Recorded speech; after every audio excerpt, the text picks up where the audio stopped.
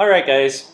So, if nothing else, even if you like don't really get the whole TDD thing and it all just seems kind of weird, if nothing else, at least this class should be helpful in terms of just like planning out your project and how that's going to progress. Um, but the next thing we're going to do is take that English you wrote and turn it into some actual functioning JavaScripty stuff, actual JavaScript. Um, and to do that, we need to install this thing called Jasmine Node. So please uh, run this command right here, npm install g jasmine node.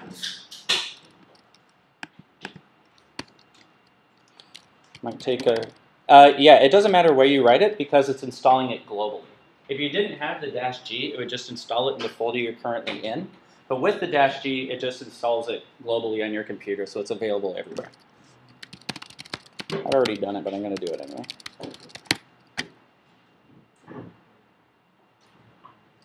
This cool little loading bar, we didn't have this for a long time. It's actually a really new thing. Back in my day. All right, once you've done that, CD into the project folder that you made earlier. If you didn't make a project folder, then go ahead and make one now. I'm going to just remake that snowman builder folder. Yes. Yep. We're not going to be we're, we're not going to be screwing anything up, and if you do get merge conflicts, then um, but you know that's a fair point. If you want, you can do this in a separate folder, um, but I would say just go ahead and do it in your project folder. Okay, cool. So uh, let's see, mkdir snowman builder. I'm just going to pretend this is my project. All right, and then inside that, make a folder called spec. So I'm inside Snowman Builder. Now I'm going to make a folder called spec.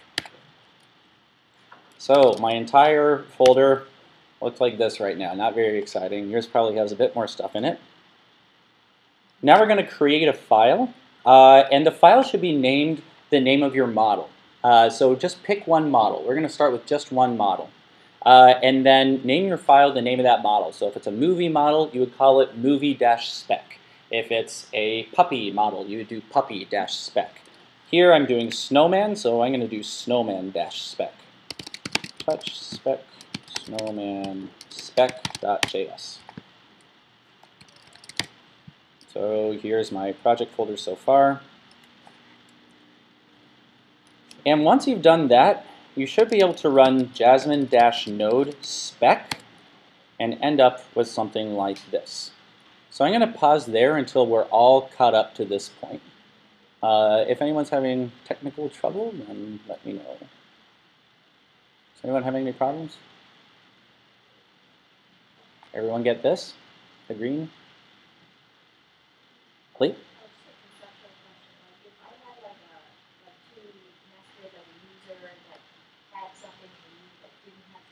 Mm-hmm. Mm-hmm. Yep. Do you have to what? Oh, yeah, you missed that step. So you need to do this npm install g jasmine node.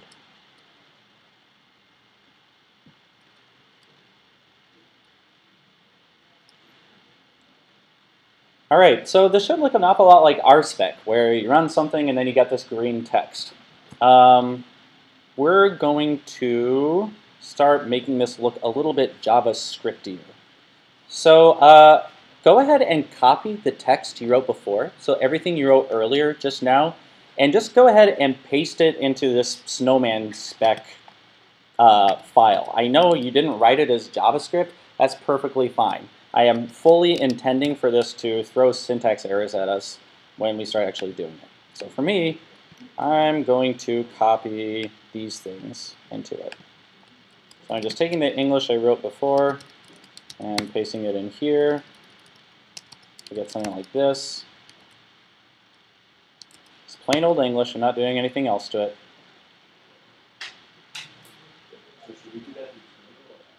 That doesn't matter. I'm doing it in Terminal just because I'm fancy, but you can do it in Atom if you want. No, uh, don't don't do Vim. Don't do Vim unless you know how to do Vim. Okay, fine, I'll do it in Atom. oh, you guys.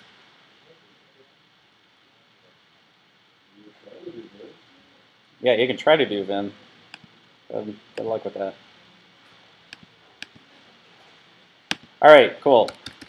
So here I am, copy, paste, bam, that's it. And then when you run Jasmine node spec, you should get some kind of a syntax error. Yeah, syntax error, unexpected string. Uh, so it should not have, oh, you go away, go away, go away. Uh, yeah, you should get something like this. So we've pasted the tests in there. We have them as English. Now we need to make them JavaScript so that we don't get syntax errors like this. So that's going to be the next step. Um, a completed Jasmine file is going to look something like this. So let me rearrange this snowman stuff so that it follows the same syntax. Ah, I'm not going to do it in Vim as much as I want to. All right, so describe, I'm going to, let's see, if this isn't already in double quotes, I'm going to put this uh, a snowman in double quotes. Everything aside from describe and it should be in double quotes. And I'm going to put that in there, make it a function, and put all this stuff inside it. I'm going to do the exact same thing for this describe down here. Make it a function, put this it inside it, all right, now I'm going to do the same thing for all of the its. So I'm going to ask all of you guys to do this in a second, so feel free to do it along with me if you'd like. Uh, but it's basically just putting parentheses, double quotes around things, and also putting function at the end of each line. It should have a caret nose. Chris, you have a question? Oh, uh, maybe you had everything like written as comments or something. Also, make sure you save it.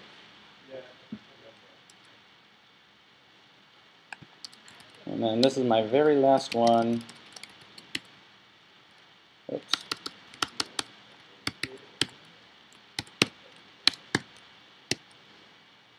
All right, so this is my end result. I took my English and I did three things. I put double quotes and parentheses around it, and then I put a function at the end of each line. And there I am, all done. You'll know you've done it correctly if you run your uh, if you run Jasmine node spec again and you don't get any errors. Also, notice that something has changed here, and I'll come around and fix any issues in just a second. Notice that uh, what has changed here is that now this thing has those four dots, and it says four tests. So uh, just like in RSpec, whenever you write it, that's considered a test. It's the exact same thing in Jasmine. Anytime you write it, it's considered a test. And so I have four its in my code, uh, and as a result, I have four tests in here. They're all passing because there's nothing in here that says they shouldn't pass. Um, so these tests aren't really good for anything. They don't actually test anything, but at least I know I don't have any syntax errors. So I'm going to take a second there. Uh, is anything, if you're having uh, trouble getting this thing set up.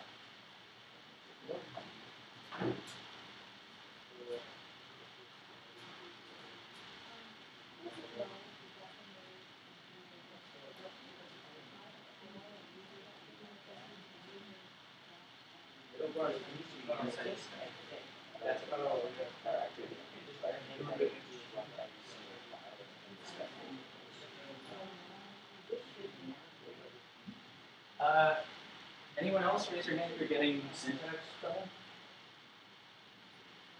Okay, then go ahead and keep on working on this. Uh, I'll say take three minutes, eh, five minutes to finish writing all this stuff as functioning JavaScript, okay?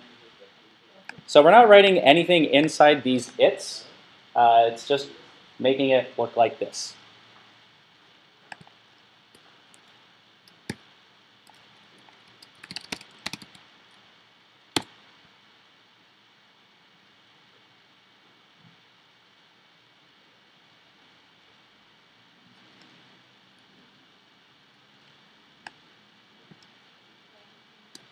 Mm-hmm.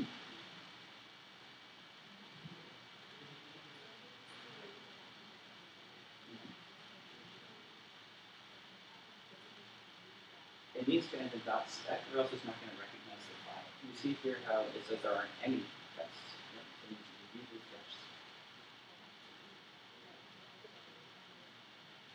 You should get an yeah, because this stuff isn't in this JavaScript, it needs to be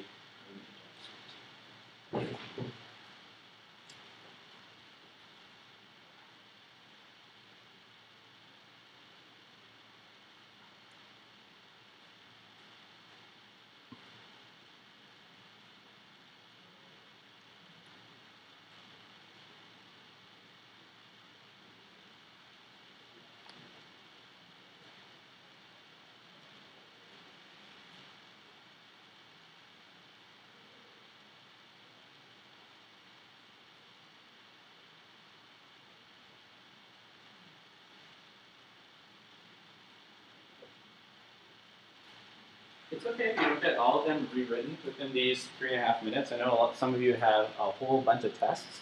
Um, and if that happens, I would say just comment out the ones that you haven't gotten to yet. Um, but do get it to a point so that you can run it and have it not fail. So by the end of these five minutes, you should get at least a couple of green dots over here. What? Yeah, you're just working on one model. Uh, if you finish early, you can start on the other model too if you want. But I just want to get something to work with in here.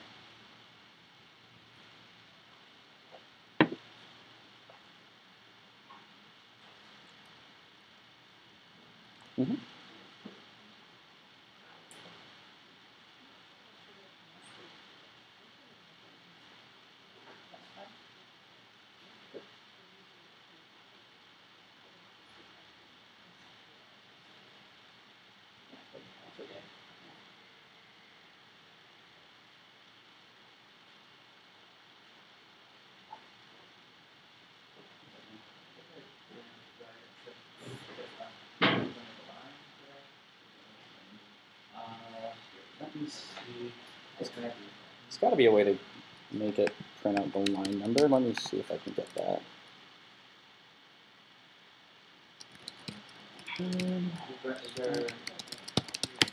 Give me just one second.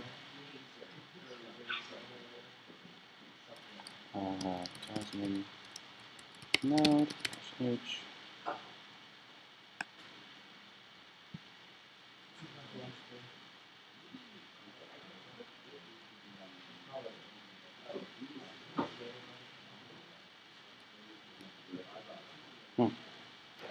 Well, that's really strange. It looks like it doesn't have something built in to show you the line number.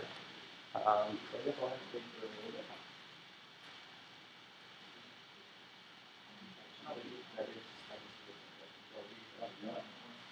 Those its number, they're missing a uh, equivalent code, which is right here. Are they equivalent parentheses or not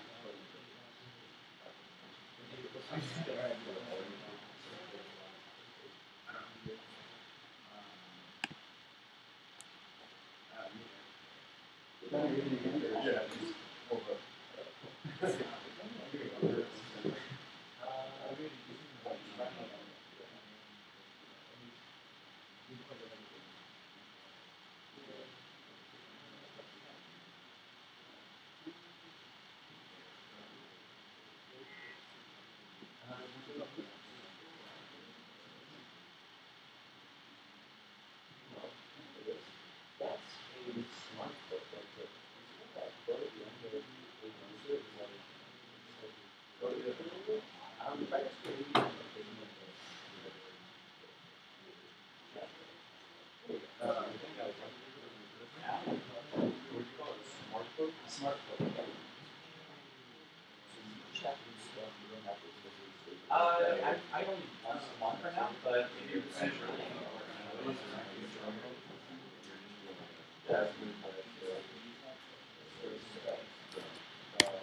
Okay, guys, please wrap up where you are, uh, and then I'll come around and help you guys with any errors that you're having.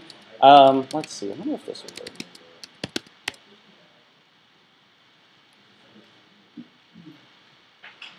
Damn. Nope, that's not it. Oh well. Uh, is anyone getting syntax errors or their their code not working? Okay.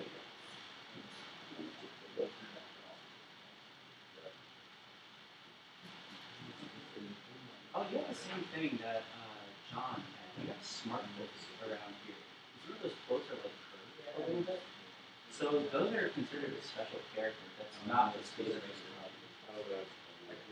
Yeah, so uh, guys, if this happens to you where you get smart quotes, um, I actually don't really know how to write a smart quote, but it's where these things, if they look a little bit slanted or curvy or something, then it's a smart quote. A smart quote is a special character that is different from these regular boring double quotes right here. If that happens, uh, if you're an Atom, you can do a command F and let's see, I don't have any smart quotes, so I'm just going to replace every U with star, star, star. First I click find, then I replace all, and there we go. So you can do the same thing with that. Looks like I'm swearing all over the place now. Um, but yeah, you could do the same thing with this. Just copy the quote, paste it in here, find, and then replace all. The smart quote is, I wish I knew how to write one. Yeah, um, wait, let me see, let me see if I can get it.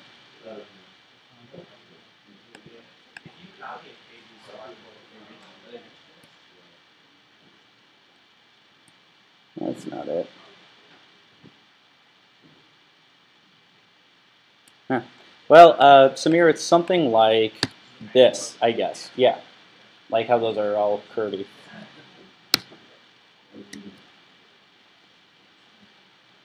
All right, anyone still getting syntax errors? I can troubleshoot?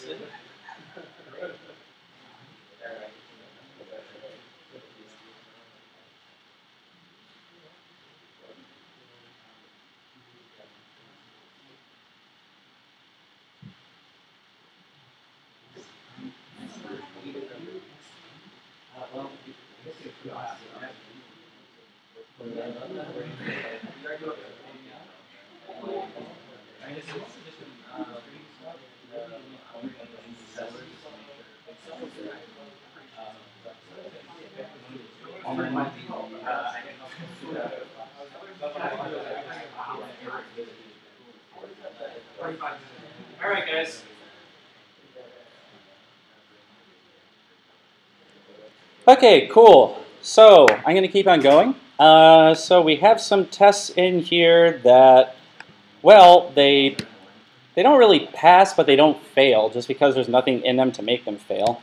Uh, let's see, Jasmine, node, spec.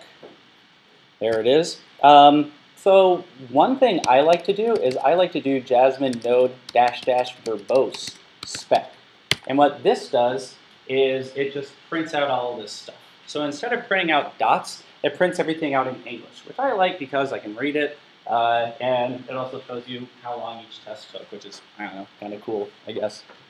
Um, but it runs the test the exact same way, it just changes the output a little bit.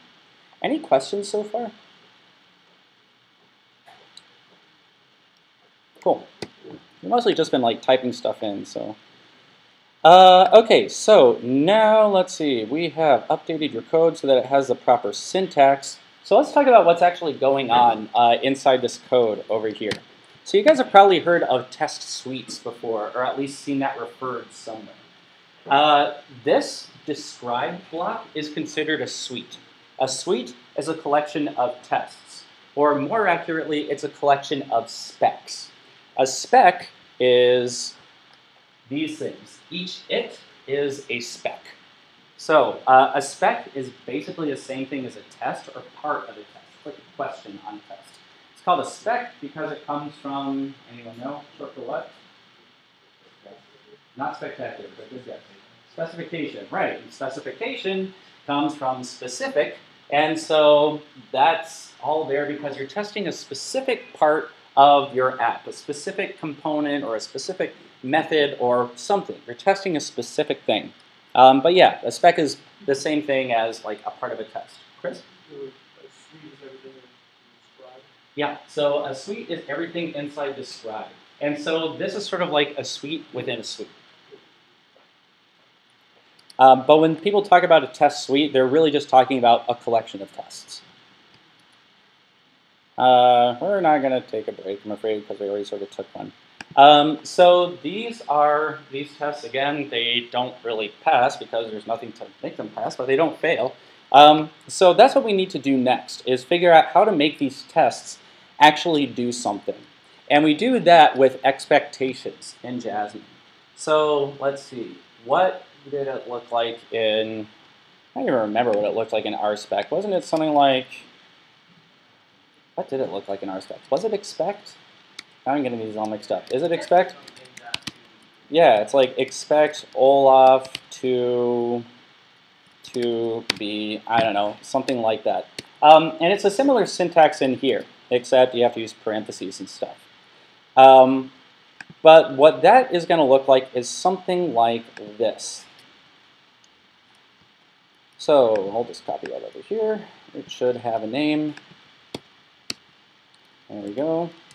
Okay, so what I'm doing here is I'm creating this variable, and then I'm saying what I expect should happen in order for this test to pass.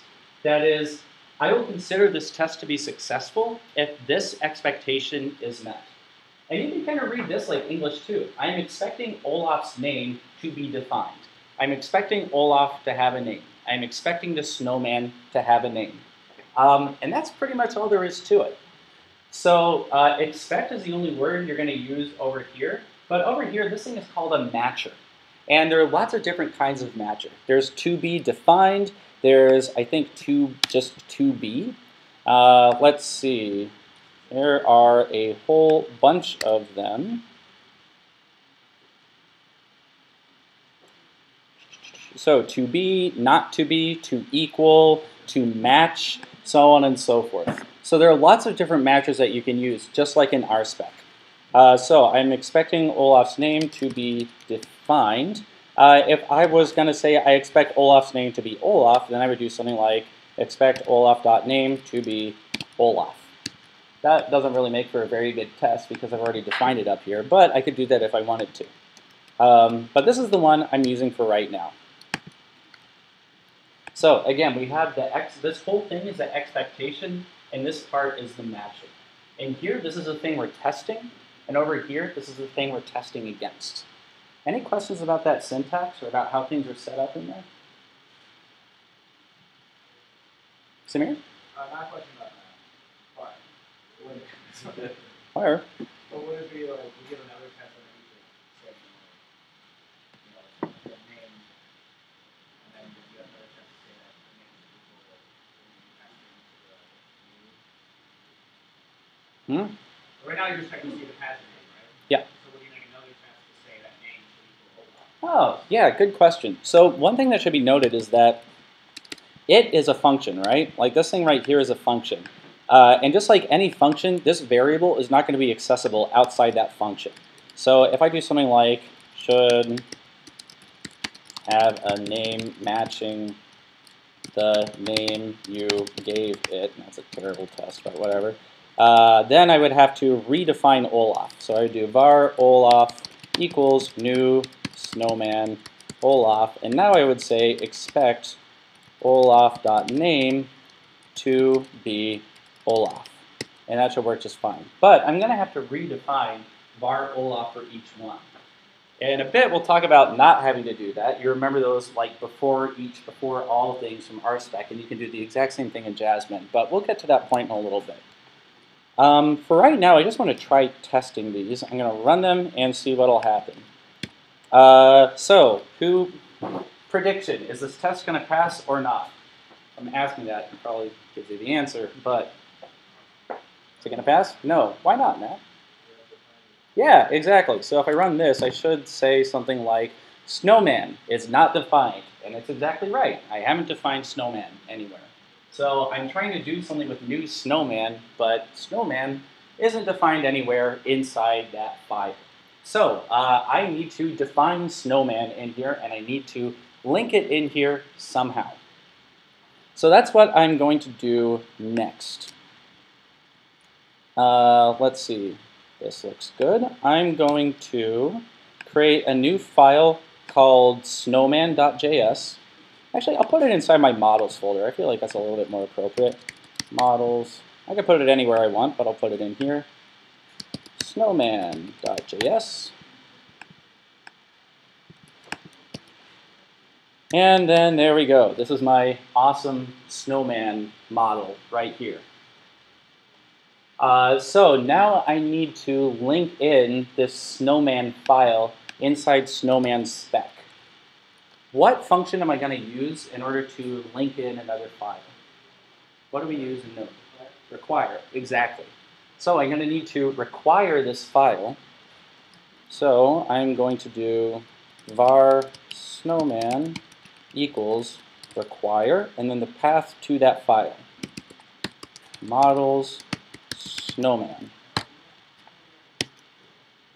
All right, that looks pretty good. I'm going to try running this again.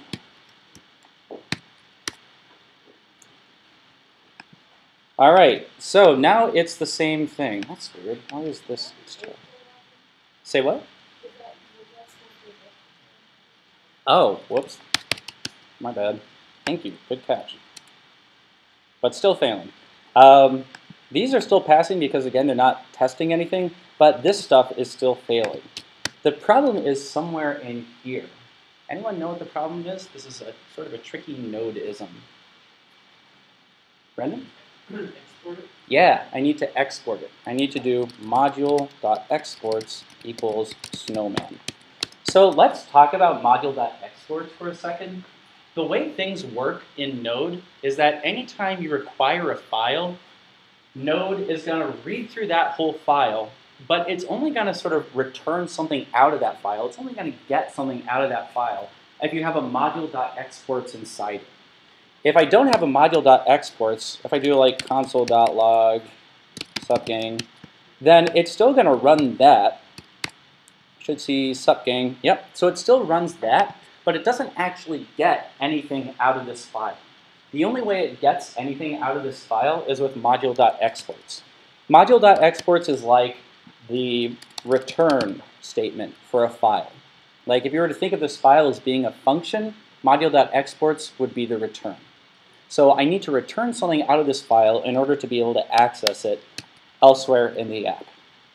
But now that I've done that, I think I should be able to run this and it'll work. And there we go. And now all my tests pass. Uh, so these still don't do anything. I have to go in next and start adding in expectations for those tests. But my preliminary tests work. So any questions about this part? About what's going on here? Brendan? Can you only return one object from Yep, it really is exactly like return. With return, you can only return one thing.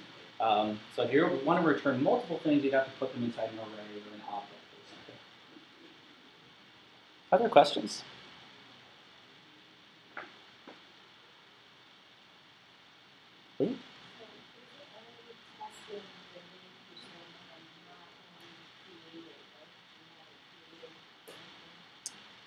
Uh, I'm not sure what you mean.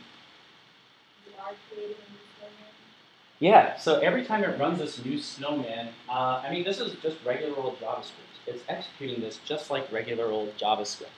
Um, this expect to be stuff, it's sort of a fancy way of writing if olaf.name equals olaf, then test.pass or something. I don't know. But it's just a fancy way of writing that.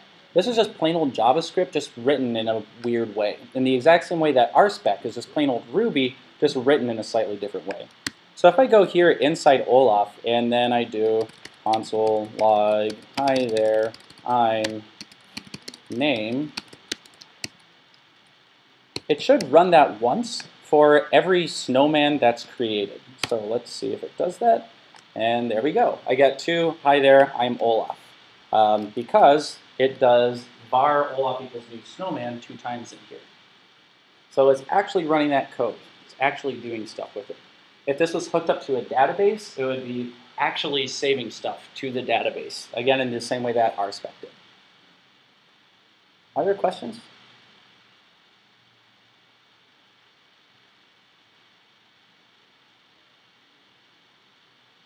Okay.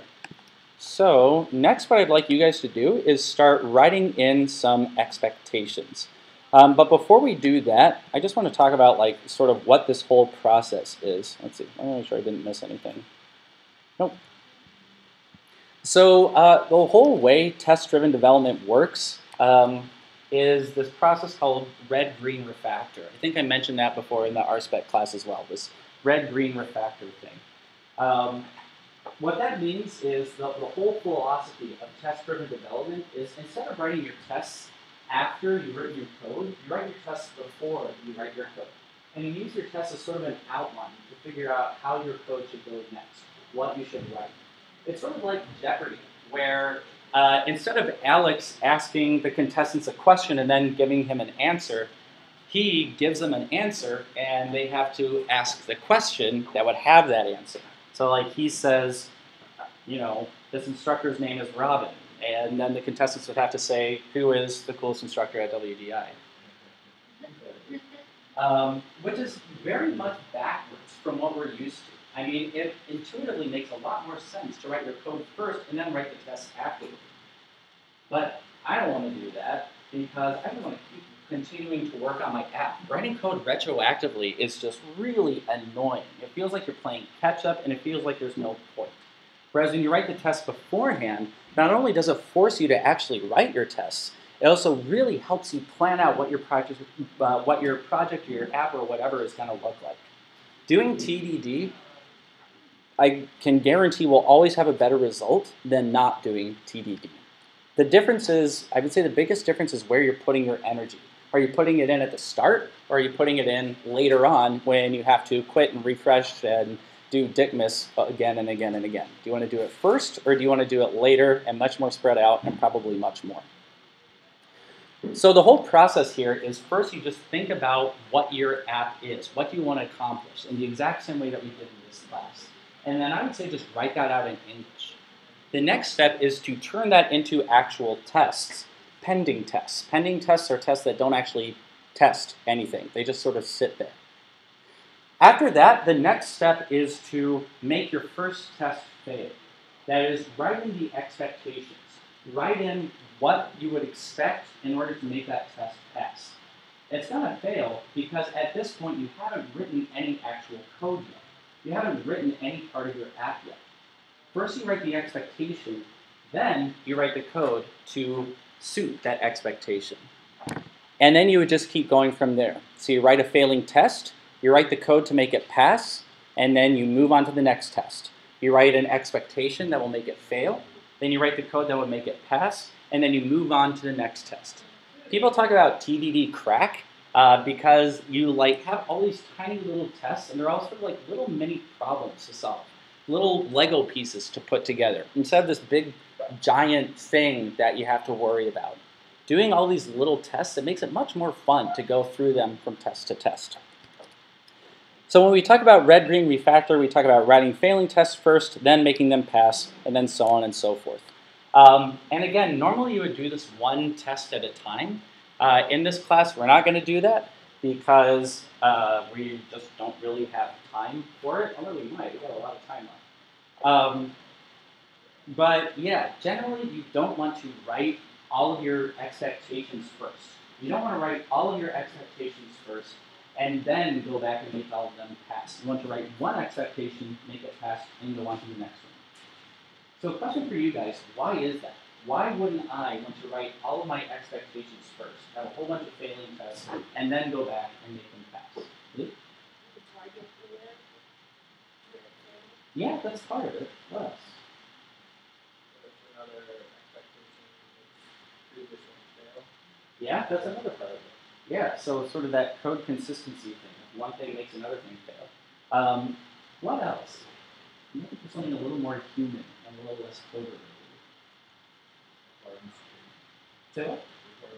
I didn't think about that. Yeah, that's a really good point. Requirements for your project might change. Well, yeah, that's exactly it. It makes you a lot happier to see one passing test and then just go on to the next one. Imagine you look at an entire wall of red failing tests, and then you think, oh man, I have to make all of these pass. That sounds pretty dreadful to me. If I see a whole bunch of pending tests and then one failing test, I'm like, okay, I can handle that. But if I see an entire wall of red failing tests, I'm like, geez, like kill me now. There's no way I'm going to be able to get through all. And so, like doing it one at a time, you know, it's another one of those things where it doesn't make your app run any faster, it doesn't do any of that stuff. It's just to help you as a human being. Just like naming your variables appropriately. It doesn't make your app run any faster or work any better. It's just to help you as a human being interact with your computer.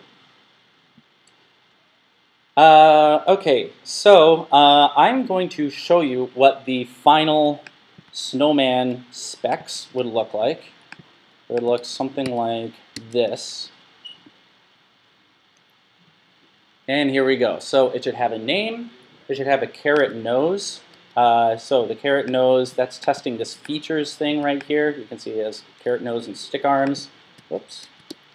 So we're expecting that array to contain carrot nose. So to contain, there's another matcher right there. Uh, looks like we actually have four different matchers on here. To be defined, to contain, to be, and not to be, Hamlet style. Uh, and then same thing down here. Expect Olaf hug to be I like warm hugs, and expect Frosty hug to be, oh, not to be I like warm hugs. Uh, these, most of these should fail.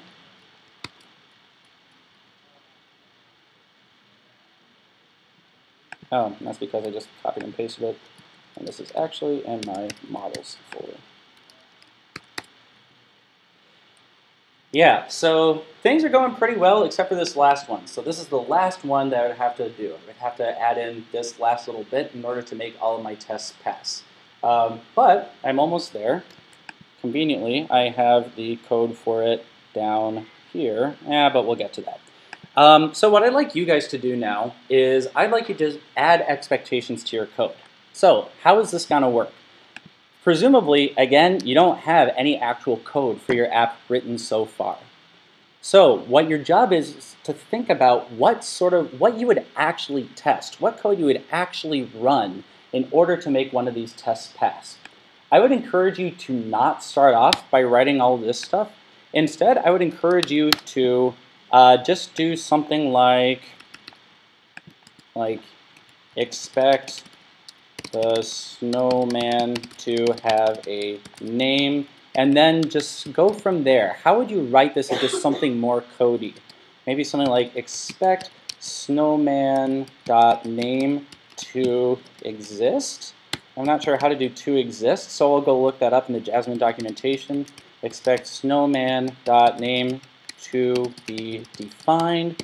Okay, now I can make that a little bit more JavaScripty. Expect snowman name to be defined.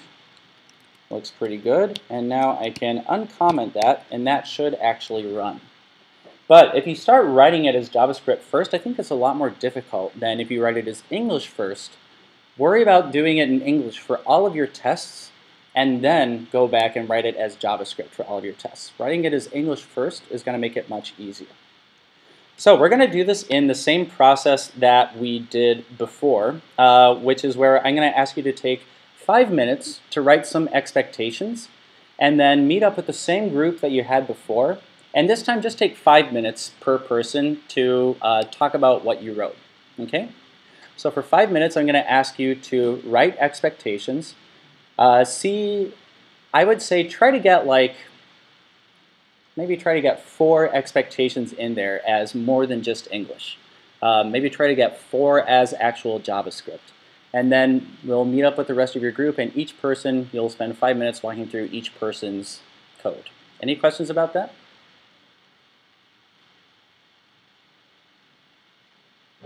All right, so I'm going to go ahead and start the timer.